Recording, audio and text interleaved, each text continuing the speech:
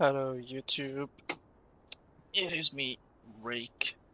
Uh, in this video, uh, I'm gonna do a little guide, sort of tutorial video, and just sort of sharing kind of my discoveries with the latest intersection marking tool mod update. Um, there's a couple things that I want to go over. First off, though, um, yeah, I've been pretty busy lately in real life and with this game because it's been causing me a lot of trouble. And yeah, it's it wasn't very enjoyable. I have been playing and I, I I'm trying to make something that looks presentable for a video or something, but I just couldn't get to it. Either my RAM was lacking, which I've already upgraded to 128 gigabytes by now, or the break would save somewhere, or there would also be just some random issues like network limitations, um, the city not being quite exactly what I want it to be. There was always some sort of thought process that hinders me. Either way, with that being said, uh, let's get this really fast with, right? So that I don't waste your time.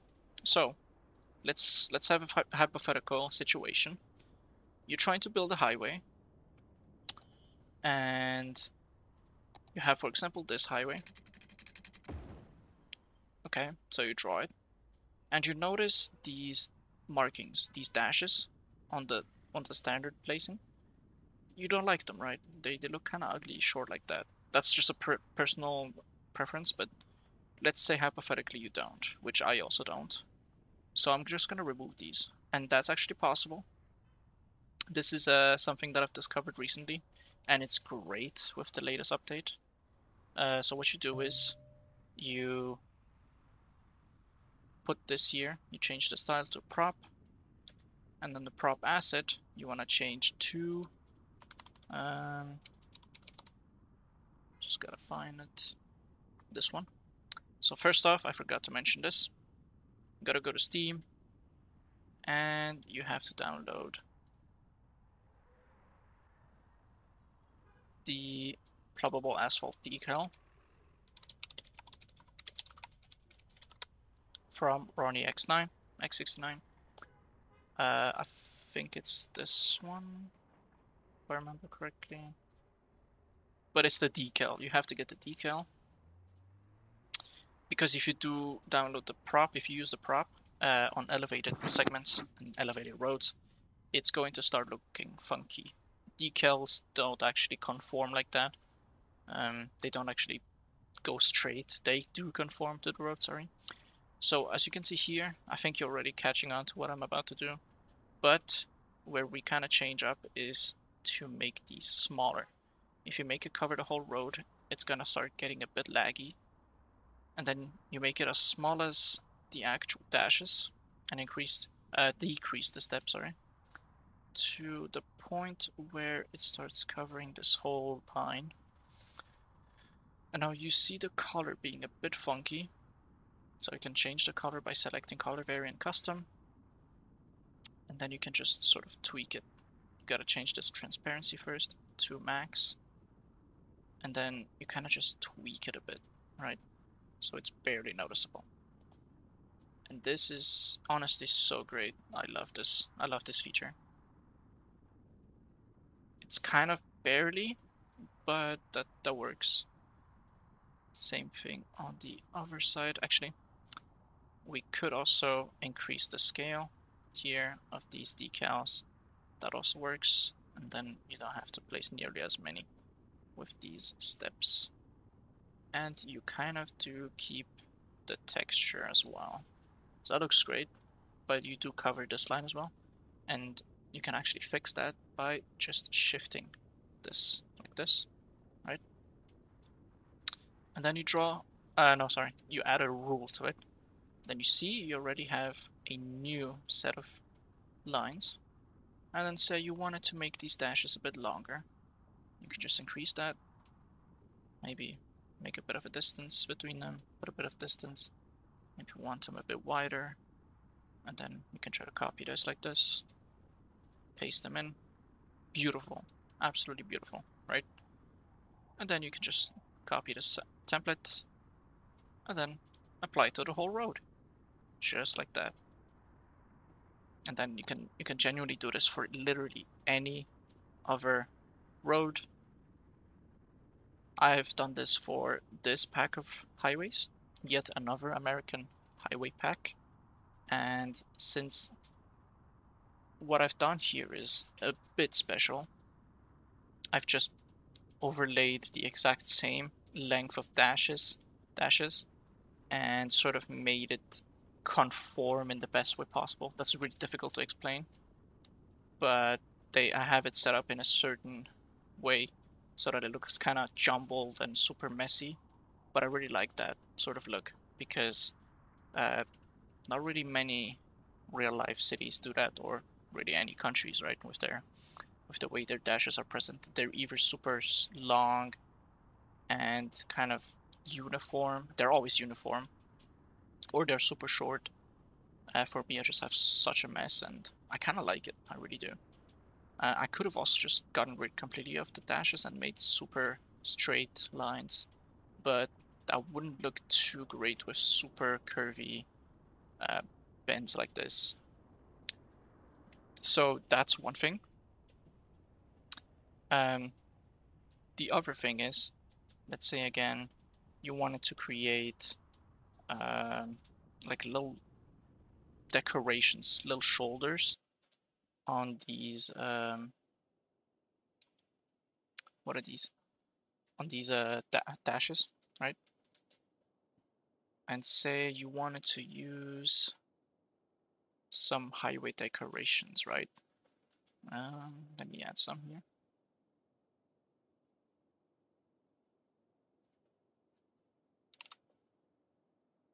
Maybe these ones.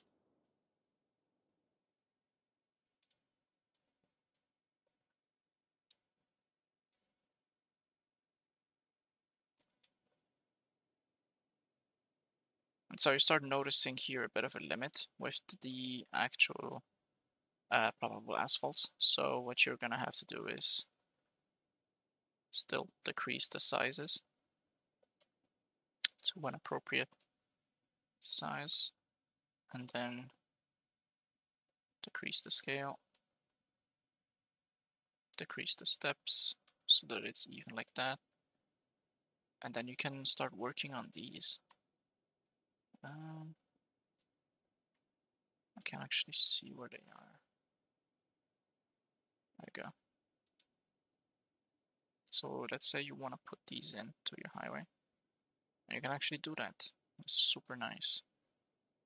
And I'm pretty sure people already know about this, but I thought I would, you know, still inform you about it. Maybe it is useful for you. Uh, and then you can just do the same thing one more time. Copy paste it. Um, oh wait, no I didn't. I didn't copy paste it. There we go. And at this point it's still in the same position. So you have to change the shifting here, shift it a bit to the left, and then just rinse and repeat. I'm gonna try, I'm gonna just do that real quick.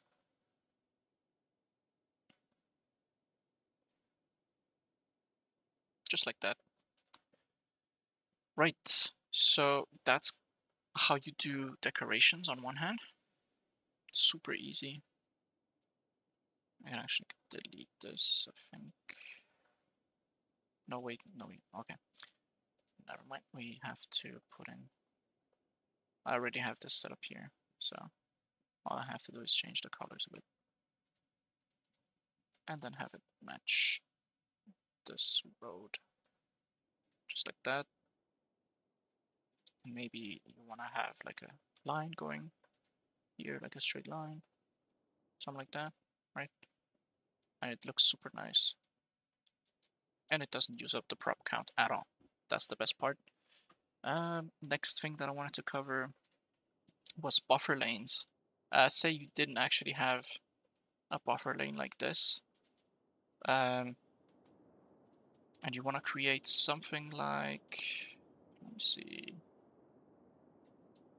something like this, right? A completely separate lane. So I think it's not too difficult to create this.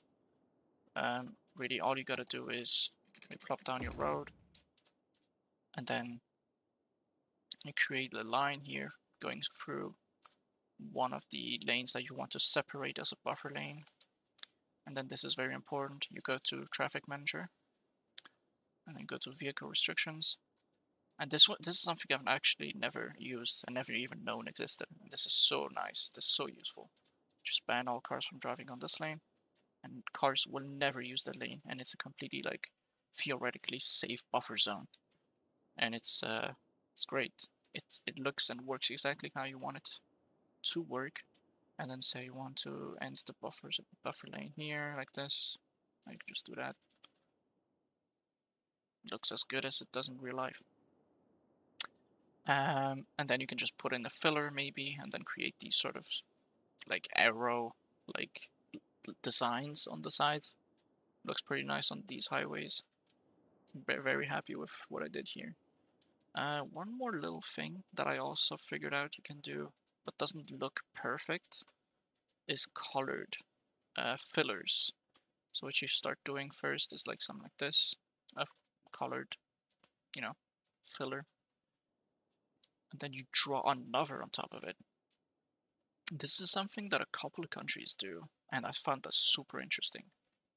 And maybe you do something like this. And I really wanted to do this in my own save. But so far, I actually haven't been doing that. So need to find time to do that properly, maybe on these ones.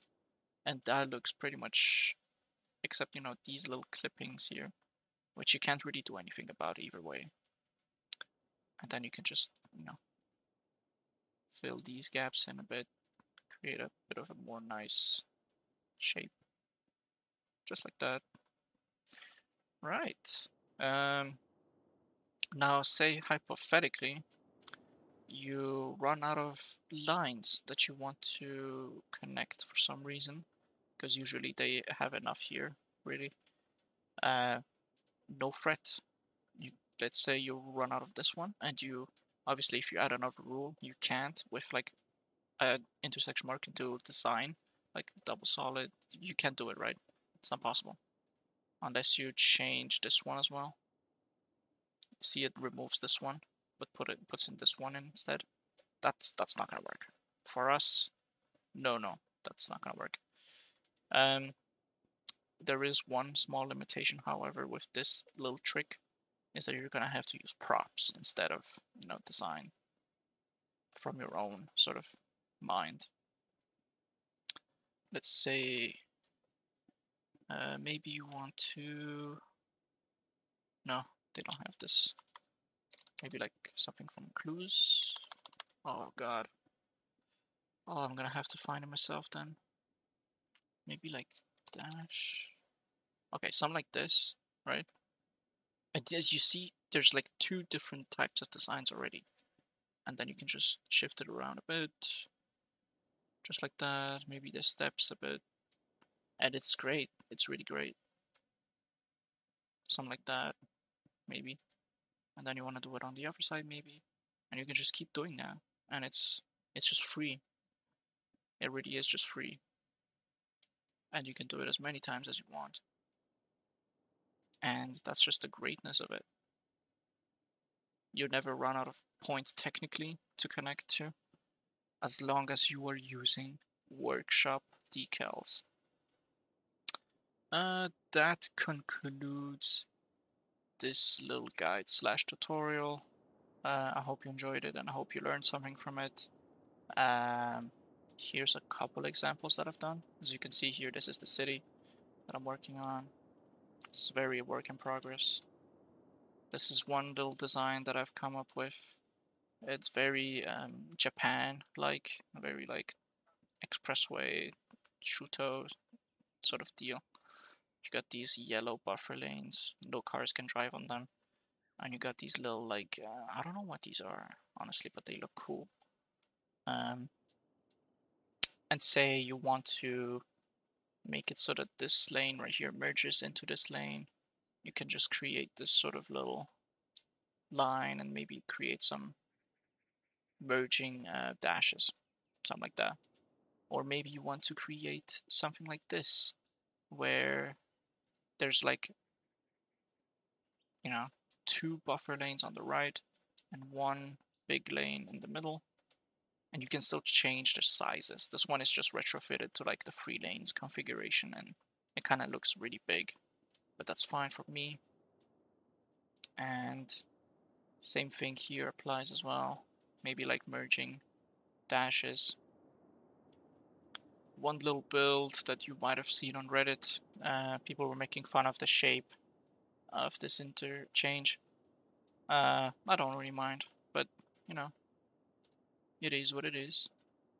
Uh, just don't mind that bug with the with the mod. Hopefully fixed soon. You can also do something like this, where you can join up these little merging lanes, or maybe something like this one, and it just continues on and on. Wouldn't have been possible before, but since as you can see here, I'm using these decals. I'm using this decal to cover up the previous dashes. It looks so beautiful, perfect. And then it just merges seamlessly into traffic on the highway. Here, as you can see, I also created another buffer lane. And with this mod right here, I blocked off all these lanes from being driven on. And the cars just drive on the proper lanes. And it's it works exactly as intended. It's great. It's honestly just great. So yeah, that, that concludes that tutorial. I really hope I'm gonna be able to post something very soon. Uh, hope you enjoyed the video guys and see you in the next one. Bye!